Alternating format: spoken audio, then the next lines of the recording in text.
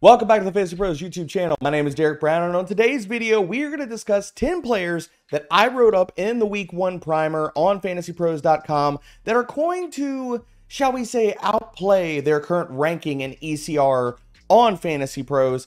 All of these picks made in this video are based on all of the research that I did this week and will be doing every single week in the NFL season for the primer. I'm covering every game, getting deep into the weeds to give you the edge you need to win all your fantasy matchups. Every week in the primer, I'm going to run through who you should start, who you should sit, who you should flex, and maybe who you should fade in all hopes of you're going to win all of your matchups.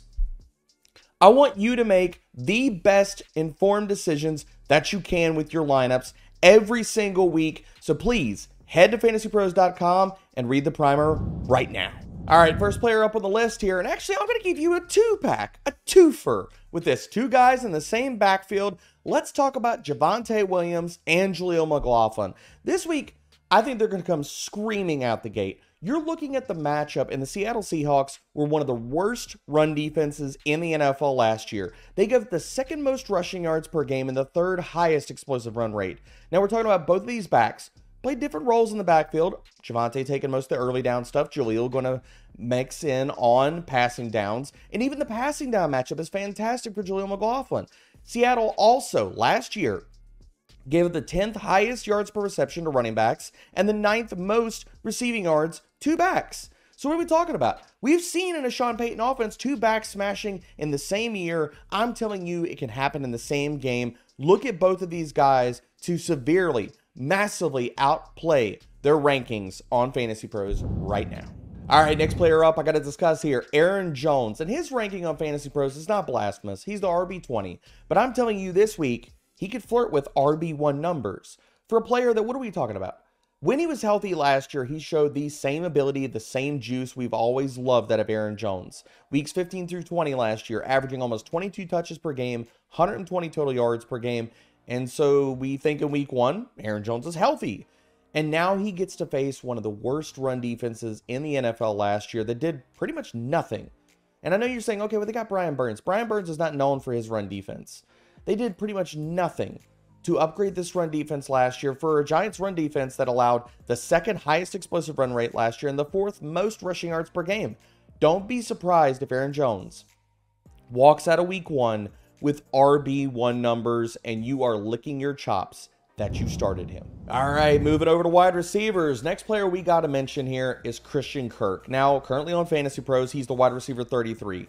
I'm telling you, I think he could be a strong wide receiver 2 in week 1. And this all comes down to the matchup.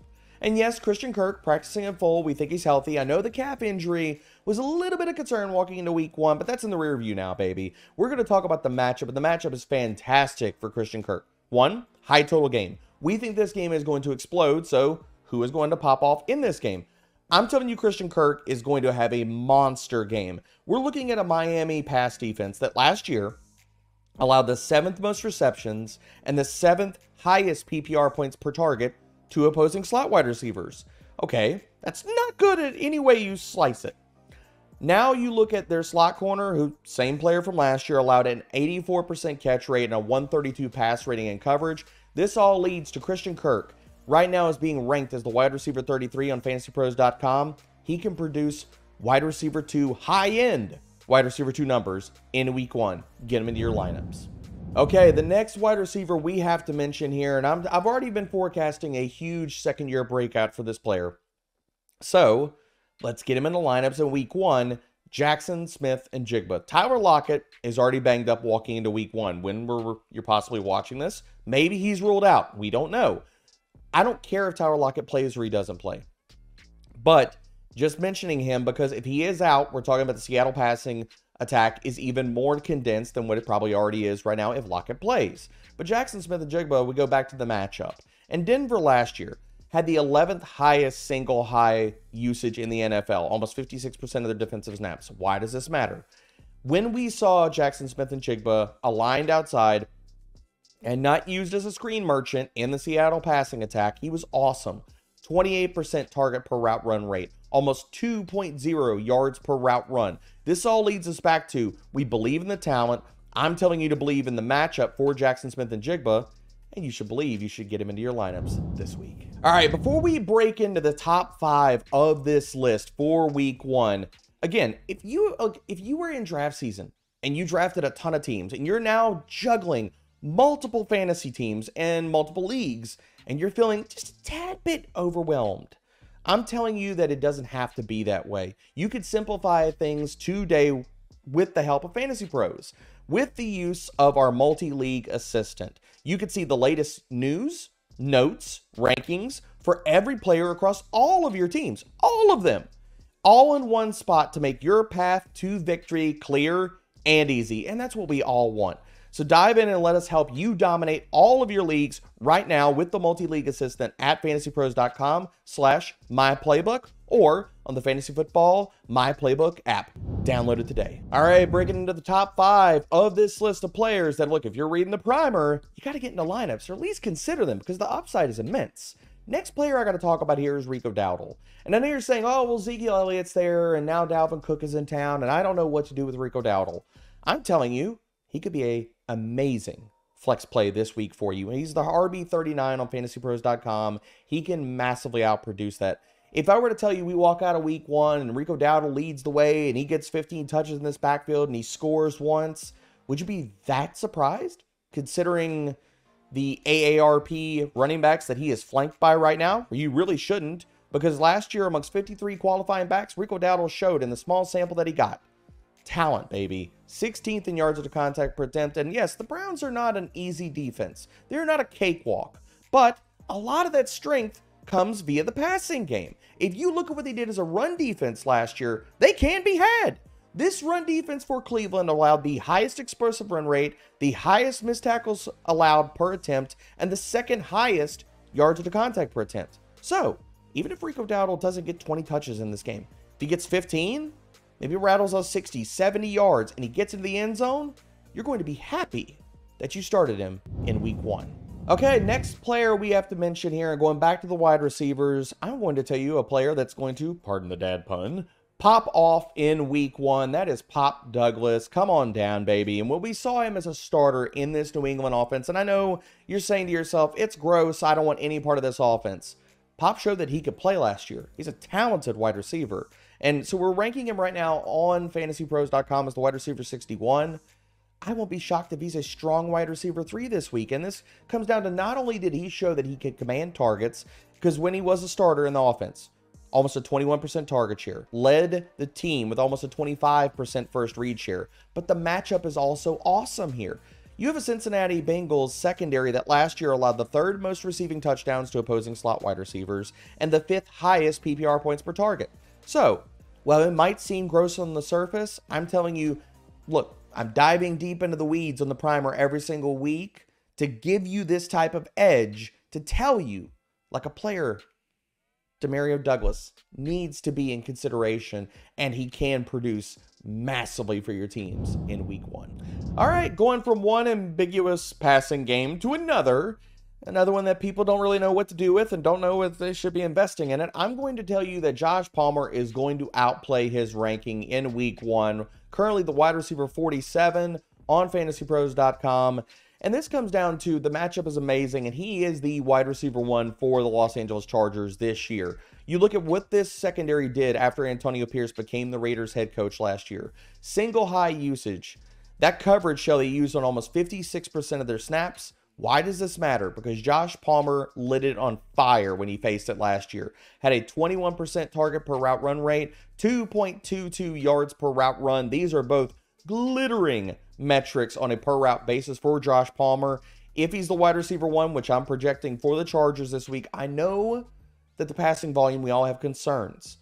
But Justin Herbert can be efficient, and Joshua Palmer is the one that's probably going to get the downfield looks. So even if he gets five or six targets, if he takes one of them for 40 or 50 yards and scores, he's going to pay off this week in fantasy. Okay, We've talked about running backs. We've talked about wide receivers. Let's get over to the quarterback and tight end position to conclude these 10 players that I think are going to smash in week one, based off of all my analysis in the primer. And the next guy we have to mention, we got to talk about, is Geno Smith. Chef Geno is the only cook in the kitchen for quarterbacks we got to talk about this week because I think he's going to crush. QB 19 on fantasypros.com right now. And I think he could be, or at least close to, or flirt with QB1 numbers. And this is not only the matchup, but Chef Geno's talent. What did we see for him last year? In a clean pocket, which he didn't get much of those last year because he faced the seventh highest pressure rate. In a clean pocket, Geno was still awesome last year. He was eighth in yards per attempt and had the fifth highest passing grade from clean pockets. And you're saying, how many of those does he get versus Denver? Hopefully a lot. Versus a defense that had the fourth lowest pressure rate in the NFL last season. So, Geno Smith, awesome and clean pockets, going to get him in Denver. And now, eh, outside of Patrick Surtain, who I know just got the bag, outside of him in the secondary, who are you scared of? For a pass defense that really didn't get any kind of overhaul during throughout the offseason, maybe losing Justin Simmons doesn't help them either. But this secondary last year gave it the seventh highest yards per attempt and the fifth most passing touchdowns to opposing quarterbacks. This all leads us back to if I believe in Jackson Smith-Njigba is going to pop off in week one, I believe in his quarterback as well. Geno Smith is going to cook in week one, especially in superflex formats. And you're like, oh, which QB2 do I play? Is it Will Levis? Is it Geno Smith this week? Or is it somebody else going down the barrel? It is Geno Smith. Get him into your lineups right now. Okay, final player we got to mention here. And look, I'm going down the well here because if you got Kyle Pitts or you got another tight end that you're kind of worried about, maybe it's Cole Kmet, maybe it's Dalton Schultz, maybe it's somebody on that tight end one fringe and you don't know whether to start them or what to do with them, or maybe it's Pat Freiermuth. I'm going to tell you to pick up and start this week Jonnu Smith. Currently the tight end 23 on fantasypros.com. And why am I so high on Jonnu? Because look, we know the talent and the ability, the athletic ability has been there. It's always been there for Jonnu Smith. For a player amongst 43 qualifying tight ends last season, was 11th in yards per route run, 5th in missed tackles, 4th per reception. So we know that raw talent is there. now you put him with one of the sharpest, if not maybe the sharpest, play caller. And yes, I'm looking at you, Mike McDaniel and Kyle Shanahan. But look, uh, former San Francisco coordinator might uh, look. The pupil could have become the teacher now. And what are we talking about with Mike McDaniel's offense with Jonnu Smith? YAC opportunities. Get the ball in his hands and let him produce. And that can happen in week one. The Miami Dolphins were not good at defending tight ends last year, allowing the fifth most fantasy points per game to the position and the highest yards per reception to the position. So even if it's not a ton of target volume, if he's the wide receiver three basically in this offense in a high total game in week one, what are we talking about? He needs to score, probably, to get into the top 12 tight ends, right? Okay. That could probably happen in week one. You have a consolidated passing attack. They're not running in at the goal line. I'm telling you, Jonnu Smith can catch a touchdown, and you need to consider him for your lineups. All right, everyone, those are the top 10 players you need to be getting or considering for your fantasy lineups that are going to outproduce their rankings on fantasypros.com. Again, not only do you need to sit and consider these 10 players, but use the multi-league assistant. It doesn't have to be hard, people. Yes, we all got a lot of leagues, but at Fantasy Pros, we can help you manage them easily. Enjoy the primer and enjoy week one. Football is back, baby.